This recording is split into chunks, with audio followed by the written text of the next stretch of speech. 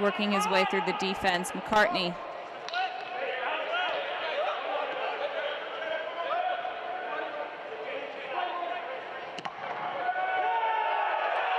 A great turnover by Minnesota, and that press leads to their first goal of the day. Minnesota on the board. 2 1 about defense turning into offense. Kameron Lacey with the press. He deflects this pass from Clegg and it goes right over Hunter Sulte.